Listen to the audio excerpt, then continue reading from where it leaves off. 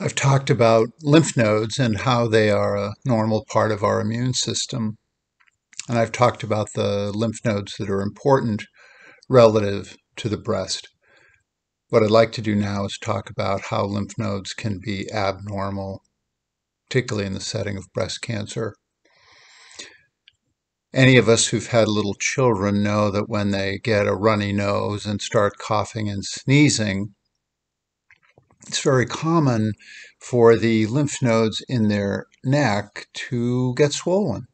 And it feels like they've got little golf balls under their skin for a few days, and then uh, they're gone. And that is a normal process. Lymph nodes becoming swollen in the presence of infection can be normal. Uh, in a way, it's the lymph nodes in young people educating themselves about how to defend the body. For most people in adulthood, lymph nodes don't get large when you have a cold because they are seasoned and know what to do and, and don't become enlarged. But they certainly can become enlarged in a variety of infections and inflammatory conditions. And that's really not what I intend to focus on here. Unfortunately, lymph nodes can become enlarged in the setting of certain cancers, and breast cancer is one of them.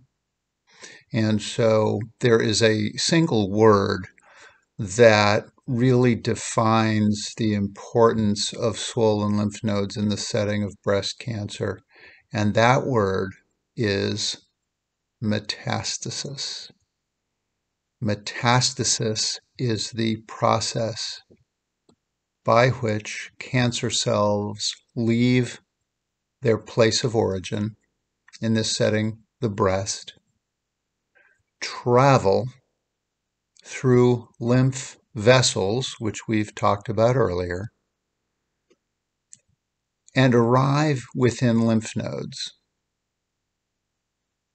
Now, it's true that our immune systems generally kill cancer cells. But it is equally true that they do not always kill cancer cells.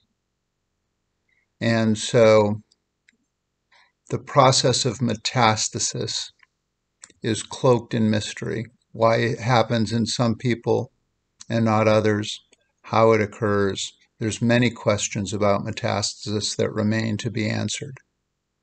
But thinking of it in simple terms, cancer cells can escape the breast where they begin, enter into the lymph system, and float through tubes, lymphatic channels, to lymph nodes where they are not killed, but where they find a new home, where they begin to divide and divide and divide, and potentially replace normal lymphocytes with cancer cells.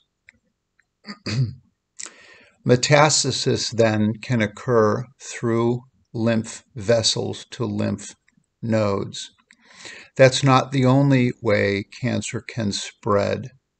Cancer can also spread through the bloodstream, in which case cancer cells can literally go anywhere that blood goes. But I'm not going to talk about that just now. I'm only talking about the importance of spread of breast cancer to lymph nodes. Why is the spread of breast cancer to lymph nodes important? It is important because if cancer has spread to lymph nodes, usually the ones under the arm, it can increase the risk for cancer showing up in other organs later on under a variety of circumstances. And so, knowing the risk that cancer could return is important for the doctors who take care of cancer because it influences what we do for patients. For example, the presence of cancer in lymph nodes, breast cancer in lymph nodes, could be the difference between chemotherapy or no chemotherapy.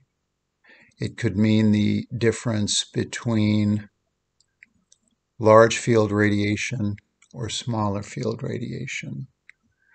So important decisions are made when lymph nodes appear to be involved in breast cancer.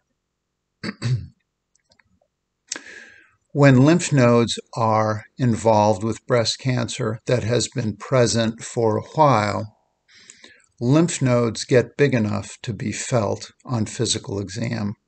And it would feel like a walnut or a little golf ball under your arm, sometimes elsewhere, but mostly under the arm. Uh, and that would be a lymph node or even several lymph nodes that have so much cancer in them they have become enlarged enough to be felt. There are other ways to evaluate lymph nodes, and one of the best ways to examine lymph nodes is with ultrasound of the axilla or the underarm. Ultrasound is a good way to look at lymph nodes.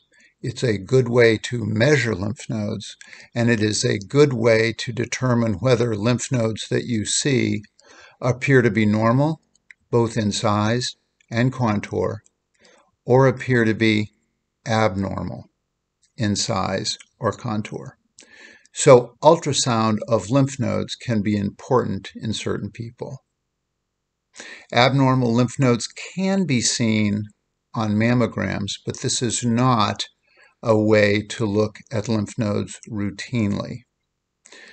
Abnormal lymph nodes can be seen on MRI of the breast and anterior torso. Uh, this is not a screening tool, but abnormal lymph nodes can be seen. And the important thing about MRI is that not only can MRI look for abnormal lymph nodes in the axilla or the underarm, but it can look for lymph nodes that we can't normally feel. For example, behind the breastbone, the internal mammary lymph nodes, to see if those are enlarged. And that can be important in certain patients. There are other evaluations other than ultrasound and MRI for lymph nodes. And these are very important in determining the staging of breast cancer. And I'll talk about that in another video, but it involves biopsy of lymph nodes, which can be routine in the surgery for breast cancer, and those biopsies are often called sentinel lymph node biopsies.